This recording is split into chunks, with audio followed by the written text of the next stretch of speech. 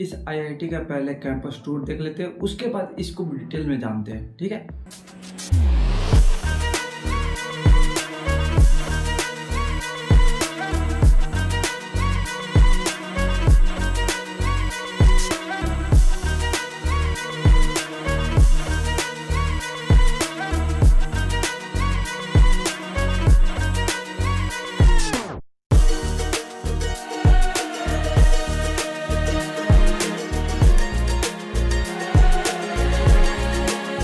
आज बात करने वाला है आईआईटी हैदराबाद के बारे में, ठीक है ना? अगर आप जे एडवांस दे चुके हो और जोसा काउंसलिंग में जा रहे हो, ठीक है ना? तो उसमें आप एक कटअप मैच करो, ठीक है ना? तो उसके लिए प्रेफरेंस करोगे कि कौन से कॉलेज कितने पे मिलेंगे? तो कटअप जानना बहुत ज़्यादा ज़रूरी हो जाती है, ठीक है ना, किसी भी कॉलेज के। तो मैंने एक प्ले बना चुका हूँ, उसमें चेकआउट कर सकते हो आप आराम से, ठीक है? चलो फिर इस वीडियो को स्टार्ट करते हैं। तो हम बात करते हैं आईआईटी हैदराबाद के बारे में। किसी भी कॉलेज को जानने के लिए ना, उसका ओवरव्यू जानना बहुत ज़रूरी होती है डिटेलिंग में, ठीक है ना? जैसे कि एस्टेब्लिश की बात करते हैं दो हज़ार आठ में हुई थी। कह सकते हो ना, नया है ना, ज़्यादा पुराना है, ठीक है ना? तो मीडियम में कर सकते हो। इंस्टीट्यूट की बात करें तो जितने भी आईआईटी है, वो गवर्नमेंट है, ठीक है ना? लोकेशन की बात करें तो आपको हैदराबाद, तेलंगाना में देखने को मिल जाती है। एग्ज़ाम की बात करें तो जेई एडवांस से और गेट से जा सकते हो आप, ठीक है ना? सीट से भी जा सकते हो। तो अब जेई एडवांस के लिए वो होते हैं जो यूजी प्रोग्राम के लिए। यानी ट्वेल्व के बाद आप जाकर देख सकते हो जे एडवांस के बाद दे देते हो, तब उसके लिए। और जब गेट उसमें होती है, जब पीजी के लिए जाते हो, यानी एमटेक के लिए जाते हो तब, ठीक है ना? अब एमटेक में एडमिशन लेने के लिए आपको किसी भी रिकनाइज आपको इंस्टीट्यूट से या यूनिवर्सिटी या कॉलेज से इंजीनियरिंग किए हुए हो, उसके गेट के लिए क्वालिफाई होते हो, ठीक है ना? अगर आपका सपना रह गया है यार कि आई आई टी में नहीं मिली यूजी प्रोग्राम कहीं और छोटे कॉलेज से कर लिए हो प्राइवेट से, या कह सकते हो स्टेट गवर्नमेंट से तो उसमें जा सकते हो, अपना सपना पूरा कर सकते हो। टोटल कैंपस एरिया की बात करें तो फाइव सेवेंटी सिक्स देखने को मिल जाती है एकड़ यानी फाइव हंड्रेड सेवेंटी सिक्स आपको एकड़ देखने को मिल जाती है यहाँ पर। हॉस्टल की बात करें, आपको दो हॉस्टल देखने को मिल जाती है। देखो ये ऊपर नीचे होते रहते हैं यार हॉस्टल ठीक है ना, इस बात को ध्यान रखना। रैंकिंग की बात करें तो देखो रैंकिंग कोई फ़र्क पड़ता नहीं बट फिर भी मैं बता दे रहा हूँ की जो रैंकिंग 200 में से जो टॉप कॉलेज थे, उसमें से चौदह आपको देखने को मिल गई थी, ठीक है? 2023 के, देखो 23 के डाटा क्यों है? क्योंकि ये एक साल एक साल पीछे चलते हैं यार, ठीक है ना डाटा अभी आने में टाइम लगते हैं, ठीक है? कोर्स ऑफ़र की बात करते हैं बैचलर ऑफ़ टेक्नोलॉजी के बारे में सिर्फ़ इतने कोर्स हैं यहाँ पर, देख बट हम लोग सीधे बात करेंगे सिर्फ़ इंजीनियरिंग बीटेक के बारे में, ठीक है ना? इसमें एम भी आप जोड़ सकते हो इस बात का ध्यान रखना। बीटेक की अगर बात करें, इसमें कौन कौन से ब्रांचेज आ जाते हैं यहाँ पर? Artificial intelligence bio medical biotechnology chemical engineer civil engineer computer science engineer computer science engineering and international BTech आपको देखने को मिल जाती है। Electrical engineer engineering physics engineering science IC design ये सारी चीज़ें आपको ब्रांच देखने को बहुत ज़्यादा मिल जाती है आपको इसमें, ठीक है ना? अपॉर्चुनिटी की कमी नहीं है आपको, ठीक है?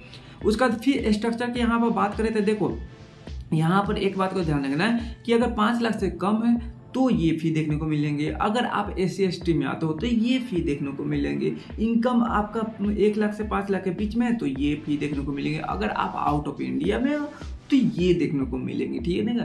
तो आप आप फॉरन हो तो फिर यहाँ पर कम में बच्चे आते हैं, ठीक है ना? बट हम लोग किस पर फोकस करेंगे? इस पर। एक हम क्योंकि ये देखो, ये जो है जनरल के लिए, ठीक है ना? तो आप कह सकते हो नौ लाख रुपए जो चार साल में आपको जो बीटेक होती है, वो आपको नौ लाख रुपए देखने को मिल सकती है, ठीक है ना? ये देखो, एक सेमेस्टर दो सेमेस्टर क्यों लिखा हूँ मैं? ये सेमेस्टर वाइज है यानी चार साल में आपको आठ सेमेस्टर देखने को मिल जाती है, यानी छः महीना पे एक एग्ज़ाम होते हैं आपको, ठीक है ना? इसको ध्यान रखना, उसी को सेमेस्टर कहते हैं। ठीक है? तो यहाँ पर आप देख सकते हो, यहाँ पर फ़ी भी वन टाइम फ़ी कितने लगते सेमेस्टर फ़ी कितने लगते टोटल फ़ी कितने लगते थे ये सारी चीज़ें मैंने यहाँ पर लिख दिया। ये फ़ी जो है ऊपर नीचे होते रहते, इस बात को ध्यान रखना, ये मत करना कि भैया इतना कहे तो इतने पॉइंट बाई पॉइंट होने चाहिए। नहीं यार, ऐसे नहीं होते। थोड़ी सी ऊपर नीचे हो जाते हॉस्टल फ़ी की बात करते एक लाख पंचानवे हज़ार यानी आठ लाख और ये एक लाख पंचानवे देखो तो यह कह सकते हो कि दस लाख, बारह लाख करीब में लग जाएँगे पूरे टोटल की मैं बात कर रहा हूँ, ठीक है ना जी? उसका ध्यान रखना। एलिजिबिलिटी की बात करें तो ऑब्वियसली बात है, आपको जो फिजिक्स केमिस्ट्री मैथ ट्वेल्थ में होनी ज़्यादा ज़रूरी है और इंग्लिश भी रख लेना यार, ठीक है ना?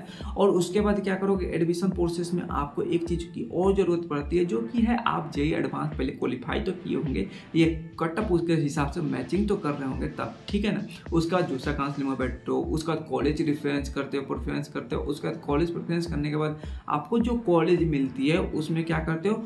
कॉलेज मिलने के बाद डॉक्यूमेंट वेरिफिकेशन के लिए ये सारी चीज़ें डॉक्यूमेंट आपके पास होनी ज़्यादा दी है, ठीक है ना? अब सबसे मेन आती है यार कटअप ठीक है ना? कटअप अगर बात करें सिक्स राउंड के ओपनिंग जो हुई थी, वो आप देख सकते हो कि कितने कितने हुई थी, ठीक है ना? तो कह सकते हो। यार देखो, अगर मेन मेन क्या बात करें कंप्यूटर साइंस के थे एट टू टू हुई थी एट हंड्रेड ट्वेंटी टू हुई थी, ठीक है ना जी? नाइन सिक्सटी नाइन हुई थी, ठीक है ना? तो ये कह सकते हो, ये सिक्स राउंड की आपका ये क्लोजिंग रैंक है, ये ओपनिंग रैंक है, ठीक है ना?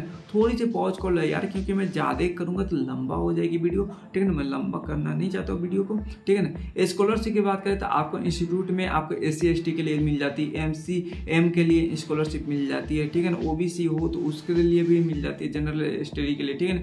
अगर आप सी सिक्स जी अगर मेंटेन करके चलते हो आप सेमेस्टर में तो उसमें भी आपको स्कॉलरशिप मिल जाती है, ठीक है ना? इस बात को ध्यान रखना।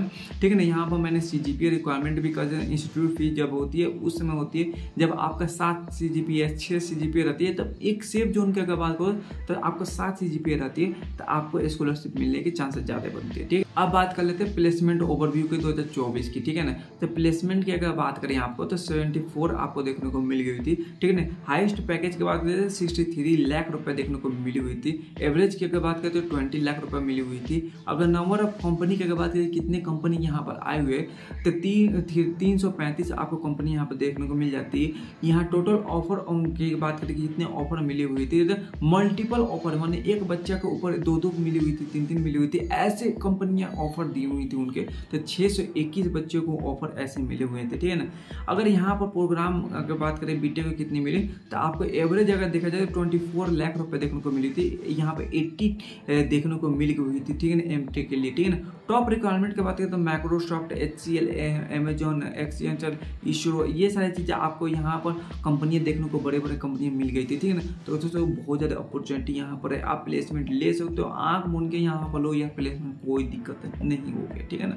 अगर आप लेना चाहते हो तो अगर आपकी कटअप भी उतने आ गई है तो ठीक है ना जी? तो चलो फिर मिलते हैं